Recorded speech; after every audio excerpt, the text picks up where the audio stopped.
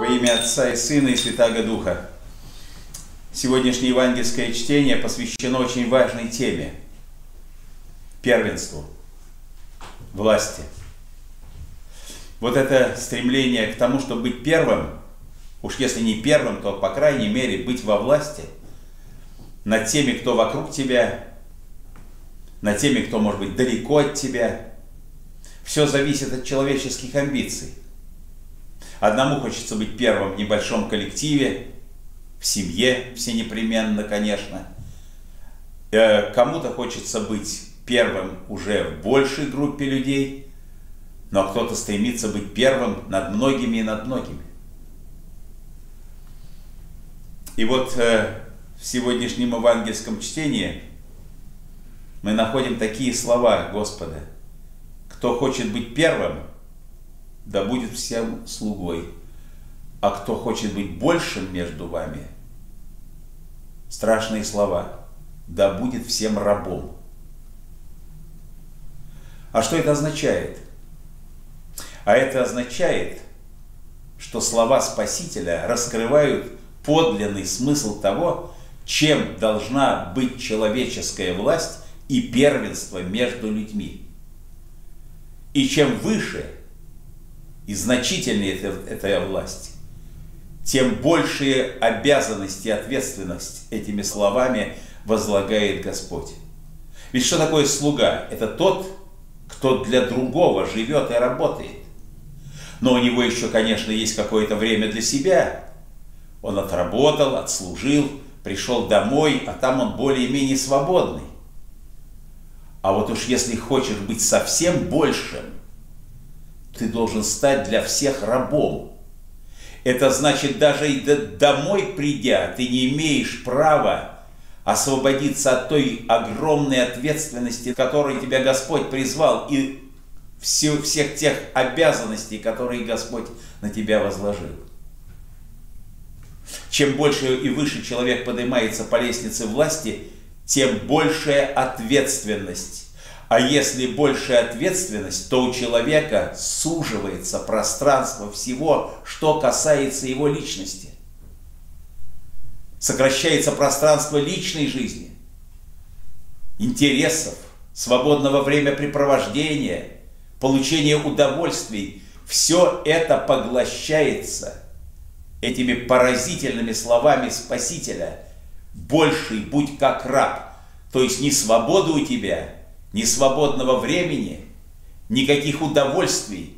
Ты весь должен отдать себя тому служению, к которому тебя Бог призвал. И только тогда будет нравственно и духовно оправдана твоя власть над другими людьми.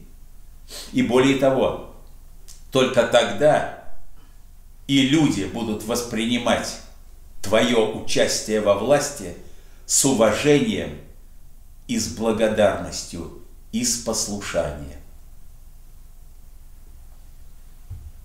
Сегодняшнее евангельское чтение, по крайней мере, вот эти отрывки, которые я сейчас процитировал, надо было бы, чтобы все начальники у себя бы повесили. Либо над кроватью, либо поставили на письменный стол. И подумали бы о том, что это ведь не человеческие слова – быть слугой и быть рабом. Это Божьи слова. И только так человек во власти оправдывается перед Богом и становится авторитетом и любимым лидером для народа. Кстати, это хорошо заметно из истории. Не буду сейчас перечислять известный персоналий из нашей отечественной истории. Но совершенно очевидно, что чем царь или полководец больше отдавал самого себя делу, которому он служил, чем более беззаветным, преданным этому делу был его весь образ жизни, тем больше любви стяжал такой царь или полководец среди народа. Но для того, чтобы назвать, по крайней мере, одну историческую личность, я бы хотел вспомнить Александра Васильевича Суворова. Генералиссимус, достигший самого высокого воинского звания. Но каким же простым он был среди солдат.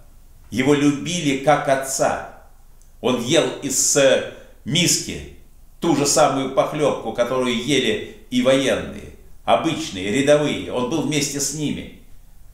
Замечательная картина, переход через Альпы Суворова с его армией. Он не где-то там, по уютной дороге, спокойный спускается, он с круче летит вместе со своими воинами.